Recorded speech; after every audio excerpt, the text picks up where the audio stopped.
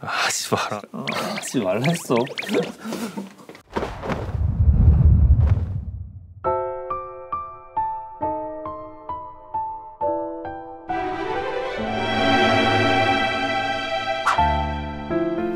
저 제법 괜찮은 놈인데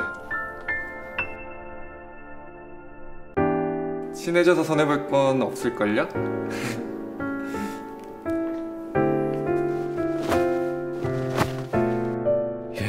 진짜 뭐 하는 놈이지? 내가 사줄게 나랑 있는 거 그 후배가 보면 안 되기라도 하는 거야?